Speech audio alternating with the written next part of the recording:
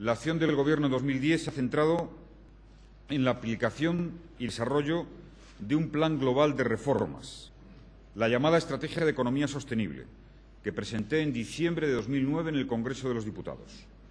Una estrategia concebida precisamente para acelerar el tránsito hacia un modelo de crecimiento más equilibrado y más productivo, ligado a una mayor formación, a una mayor flexibilidad y estabilidad en el marco de las relaciones laborales y a la incorporación creciente de la innovación a nuestros procesos productivos.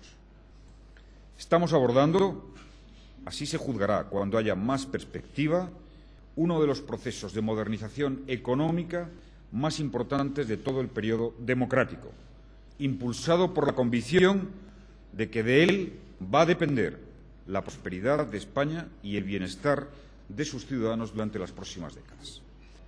Los datos disponibles de ejecución presupuestaria permiten anticipar que en 2010 se cumplirán con holgura las previsiones de un déficit del 9,3%. En este mismo mes ya lo podremos hacer público para la Administración General del Estado y la Seguridad Social. Y nuestro compromiso de alcanzar el 6% de déficit en 2011 es incuestionable, como queda recogido en los presupuestos generales del Estado, que reducen el gasto un 7,9%. Un esfuerzo de consolidación fiscal que se hace intentando preservar al máximo las partidas determinantes del crecimiento futuro, de la productividad de la economía, infraestructuras de transporte, educación e investigación, desarrollo e innovación, así como las políticas de cohesión social, que hoy reciben un 60% más de recursos que cuando fui elegido presidente del Gobierno. La austeridad, la máxima transparencia tienen que ser ya para siempre pautas inexcusables de la gestión de todas las administraciones públicas de nuestro país. El compromiso del Gobierno de España es claro, inequívoco. Corregiremos cualquier desviación que se produzca respecto de los objetivos de consolidación fiscal fijados en cuanto el riesgo de que ella se produzca sea mínimamente detectado. El Gobierno cumplirá sus compromisos con las reformas, con todas las reformas en marcha y con las demás anunciadas, incluido el compromiso de intentar, hasta el límite de sus posibilidades, los acuerdos para aprobarlas. Y entiendo que tenemos acreditado esa capacidad de diálogo.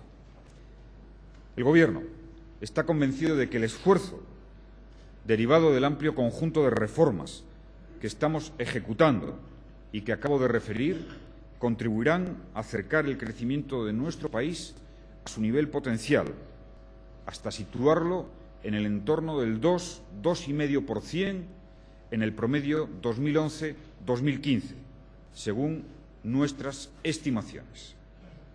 Le repito que para poder alcanzar este crecimiento es imprescindible hacer los esfuerzos adicionales que tenemos que llevar a cabo en estos meses. Y los haremos. Vamos a aprobar el próximo 28 de enero la propuesta de reforma del sistema de pensiones. Por supuesto, tratando de lograr el máximo consenso. Vamos a completar la reforma laboral incluyendo la negociación colectiva si los interlocutores no logran un acuerdo. Vamos a culminar el proceso de reestructuración de las cajas, reforzando su estructura de capital y adoptando para ello todas las medidas que sean necesarias. Y vamos a seguir completando las reformas en los mercados de bienes y servicios.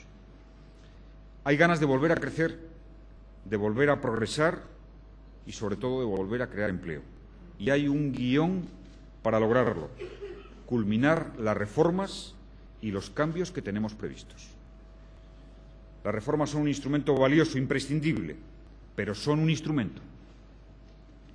Un instrumento al servicio de un objetivo, el crecimiento económico con más productividad, la creación de empleo, la prosperidad de nuestro país, el mantenimiento de los avances sociales, nuestro estado de bienestar.